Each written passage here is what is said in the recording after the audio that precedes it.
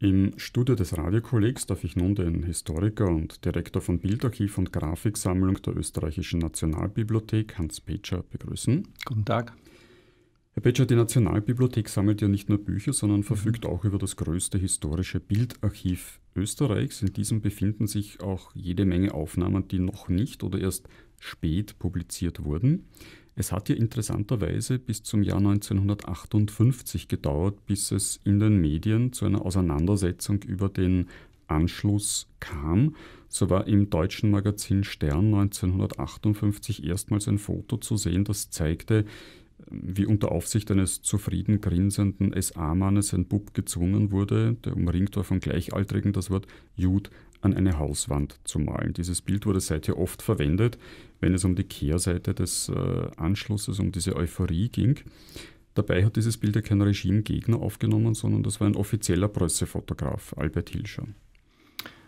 Albert Hilscher und äh, sein Kompagnon Leo Ernst, der auch noch in dieser Firma gearbeitet hatte, äh, waren die, die Eigentümer dieser Firma, die äh, den 11. und 12. März und Albert Hilscher dann noch später fotografiert haben.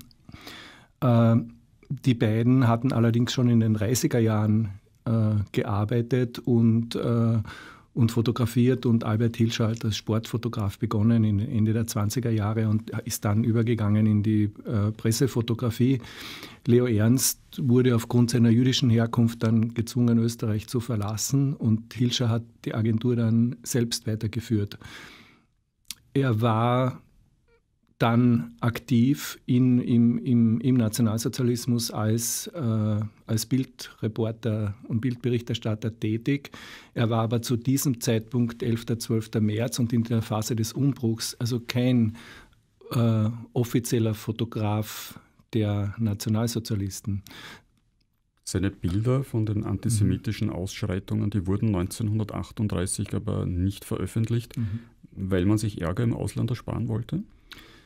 Das ist äh, meine These gewesen und die auch von meiner äh, Mitarbeiterin Michaela Pfundner, dass es erstaunlich ist, dass, dass eben diese Bilder zu den antisemitischen Ausschreibungen, die es gibt und gegeben hat und die gar nicht clandestin hergestellt wurden, sondern äh, auf freier Straße fotografiert, äh, dass die eben nicht publiziert wurden. Und äh, der Grund ist wohl darin zu liegen, dass man sich eben eine negative Berichterstattung im Ausland äh, ersparen wollte, beziehungsweise dass es eben die gezielte Strategie der nationalsozialistischen Bildpropaganda war, den Anschluss als einen Anschluss von unten zu zeigen, äh, an dem alle, die ganze Volksgemeinschaft beteiligt war, dass das ein Fest war, ein Freudenfest und dass da hätten also diese diese beklemmenden Bilder nicht, äh, nicht ins Bild gepasst.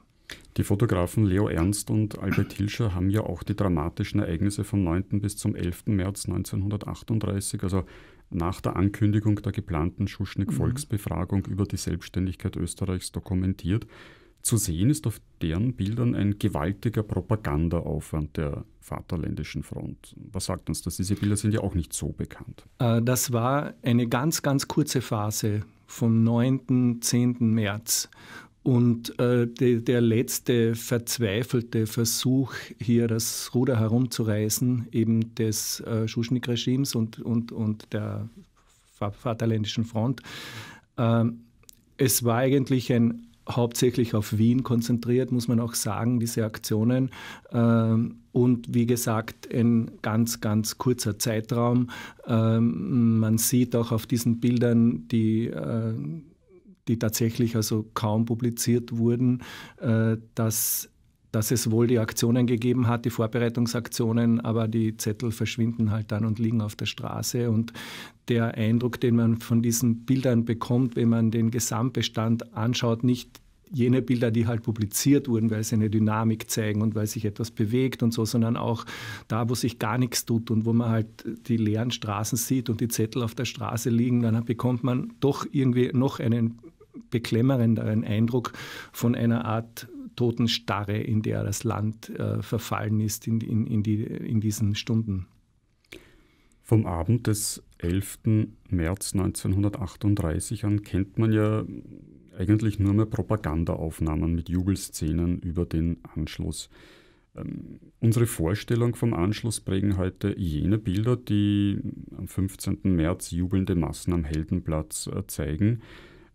Diese Bilder waren Teil der nationalsozialistischen Propaganda, wurden also sehr bedacht so inszeniert, sind also keine neutrale Darstellung eines äh, historischen Ereignisses.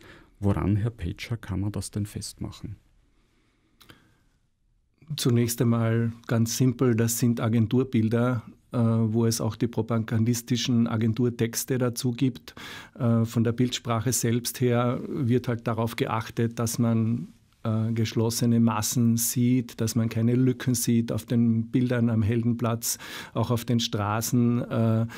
Dann äh, ein ganz besonderes Kapitel ist natürlich die Darstellung Hitlers, die ja sehr, sehr stark äh, äh, zensuriert war und äh, die Porträtaufnahmen geschönt und äh, man wird also äh, das, was man hört von ihm, also sein Schreien und, und seinen Jezorn und, und äh, die Grimassen, äh, das sieht man ja nicht auf diesen Fotos. Ja. Es gibt solche Fotos auch zu einem sehr kleinen Teil, äh, was Hitler betrifft, von Lothar Rübelt vom 4. April 1938, wo er in der Weizer Maschinenhalle in Graz gesprochen hat auf seiner Wahltour durch Österreich. Ähm, es gibt auch private Aufnahmen, gerade vom äh, vom 12. bis zum 15. März von Privatpersonen, die fotografiert haben und dann die natürlich äh, nicht so professionell oder agenturmäßig fotografiert haben, aber die, die, die dann halt ein, ein lebendigeres Bild äh, zeichnen.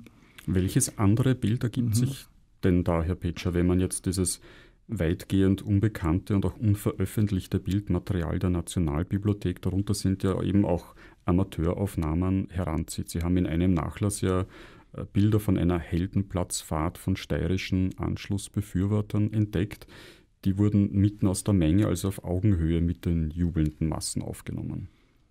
Ähm, diesen, diese Fotografien haben wir nicht entdeckt, die haben wir äh, als Geschenk bekommen vom Enkel des Fotografen, äh, der interessiert war, dass diese Bilder für die Öffentlichkeit und für die Forschung zugänglich waren, werden. Seine Tochter hat dann sogar eine Diplomarbeit darüber geschrieben. Und ich erwähne das deshalb, weil diese privaten Aufnahmen eben kaum den Weg in die Archive gefunden haben und noch heute kaum gefunden haben, weil es eben eine Scheu gegeben hat von den, von, von, von den Leuten, diese, die, diese Bestände abzugeben. Das ist das eine Seite und das andere ist die dunklere Seite, dass es halt äh, die äh, nationalsozialistischen Sympathisanten und Befürwortern in ihren Kellern äh, diese Dinge gehortet haben und die auch aus diesem Grund sie nicht weitergeben äh, wollen oder wollten. Wenn man jetzt insgesamt die spät oder noch nicht veröffentlichten mhm. Bilder vom März 1938 heranzieht, erzwingen diese, Herr Petscher, eine Korrektur am propagandistisch verbreiteten Bild der Hitler zujubelnden Massen? Also ich würde sagen, jede Zeit hat ihr, ihre eigenen, ihren eigenen Blick auf, auf diese entscheidenden Schlüsselstunden und, und Jahre der Republik. Es ist ja kein Zufall, dass erst nach dem Staatsvertrag und 1958 zu einem Jubiläum ein Fotograf, der damals äh, sich gut arrangiert hat mit dem Nationalsozialismus und auch vorher schon mit, in, mit anderen politischen äh, Gruppen gearbeitet hat, dass der dann 1958 das Archiv neu zu ordnen beginnt und Dinge auf einmal herauszerrt, die er vorher nicht äh, publiziert hatte. Das war der eingangs angesprochene äh, Albert Hilscher. Das war der eingangs angesprochene Albert Hilscher. Dann spielt natürlich äh, die Waldheim. Äh, Affäre und die Aufarbeitung des Nationalsozialismus in der Zweiten Republik eine große Rolle, wo man auch wieder einen anderen Blick auf die, auf die Geschichte hat, beziehungsweise, wenn man jetzt schon vorher äh, von vorher sprechen, die, der Opfermythos, äh, alle diese, diese Interpretationen der Geschichte äh, beziehen sich auf andere Bilder und Vorstellungsbilder. Äh, eine, einen kritischen Blick auf die, auf die Bilder oder auch auf die äh, anderen Alltagsdokumente dieser Zeit kann man insofern neu werfen, je mehr dieser Bestände und je unterschiedlicher diese Bestände sind und sie in die Öffentlichkeit gelangen und für die Forschung zur Verfügung stehen. Ähm, ich bewerte auch diese Propagandabilder nicht so negativ, denn äh, man weiß, woher sie sind, man kennt die Intention und, und mit, mit, mit dieser Kenntnis kann man aus diesen Bildern auch sehr, sehr viel ablesen. Vor allem, wenn man es dann vergleicht mit den anderen Fotografien. Und um das zusammenzufassen, erst aus diesem Gesamtbestand, ja, der jetzt zur Verfügung steht, und da reden wir von tausenden neuen Bildern, äh, kann man sehen, wie sich innerhalb von wenigen Stunden ein Land vollkommen verändert. Und das ist, das ist glaube ich, das, das Entscheidende und Neue, dass, dass man, wenn man sieht, auch jetzt diese Bilder der Vaterländischen Front, ja, diese verzweifelten Versuche, noch etwas zu tun, aber dann, wie dann innerhalb von wenigen Stunden nach der Rede vom Schuschnigg ein Fotograf im Wirtshaus sitzt, das fotografiert die Leute, die die Rede hören und dann springen ein paar auf und halten die Hand in die Höhe zum Hitlergruß. Dann geht er hinaus auf die Straßen und, dann kommen die Nazis aus ihren Löchern, die vorher waren sie ja nicht zu sehen in Innsbruck. Das beginnt sofort nach dieser Rede. Und dann, in, wenn man dann hergeht und diese Propagandabilder, die auch in der Nacht dann entstehen und datiert und mit den anderen Bildern vergleicht und diese datiert, dann bekommt man äh, doch ein, ein, ein, ein, ganz anderes Bild. Und vor allem aber, was, was ganz, ganz besonders wichtig ist, mit Hilfe der vorhandenen Fotos und Negative und Abzüge kann man die Vorstellungsbilder besser korrigieren. Und die Vorstellungsbilder oder die Bilder in den Köpfen der Menschen sind ja doch die, die wir am Anfang angesprochen haben, jubelnde Massen ohne Ende am hellen Platz. Und äh, wenn man diese Bilder alle zusammensieht und vergleicht und auch die Chronologie der Ereignisse mit einbezieht, dann kann man das ein bisschen aufschlüsseln. Auf der anderen Seite muss man auch sehen, die Propaganda ist nicht nur Propaganda. Man muss sich halt äh, die Gesichter der Menschen anschauen, der Kinder, der Frauen, der Männer. Ja.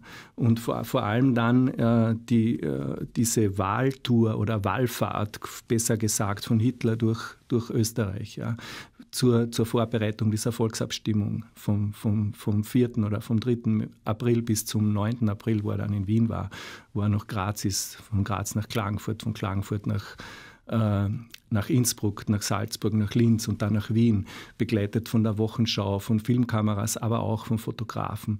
Und alles das wurde in den Zeitungen publiziert mit den Bildern. Die Kärntner, ein Kärntner äh, Volksblatt hat geschrieben, die Kärntner konnten sich nicht satt sehen am Führer.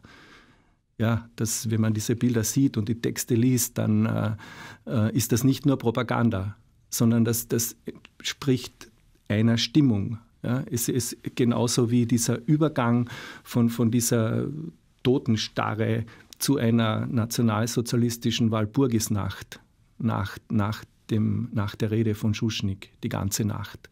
Und mit dem Seis Inquart am Balkon dann äh, vom Bundeskanzleramt. Äh, und dann eine unglaubliche Wahlkampfmaschinerie mit 12 Millionen Reichsmark innerhalb von drei Wochen, die hier verbraten wurden von, von der nationalsozialistischen Propagandamaschinerie. Äh, und wo auch eine Unzahl von Bildern dann entstanden ist, aber vor allem Aufbauten im öffentlichen Raum in den Städten, dann begreift man erst, was hier geschehen ist. Was man an den Bildern aber nicht sieht, das ist die Terrormaschinerie, die in Gang gesetzt wurde. Und das kann man dann auch doch mit, im Vergleich mit anderen Quellen dann sehen, äh, nämlich, dass sofort äh, mit Verhaftungen begonnen wurde, dass Adresskarteien konfisziert wurden, dass äh, die jüdischen Mitbürger verhaftet wurden und vor allem auch, dass für diese Abstimmung äh, man ja unterschreiben musste, dass man ein Arier ist. Und Juden waren nicht nach wahlberechtigt. Und diese Vordrucke für diese Formulare sind in diesen drei Wochen in die Gemeinden gegangen, sind überall auf, gelegen. Und mit, diesen, mit, mit, mit diesem Bürokratismus und mit dieser Maschinerie hat man die Leute terrorisiert und letztendlich dann auch erreicht, diese Konstitution der deutschen Volksgemeinschaft, ja, die auch beinhaltet die Vereinnahmung der Arbeiter mit dem 1. Mai und dann natürlich der Antisemitismus, der seinen Höhepunkt in propagandamäßig dann erreicht hat mit der, mit der Überführung der Ausstellung Der ewige Jude von München nach Wien im August 1938. Alle diese Dinge zusammen ja, muss man sehen.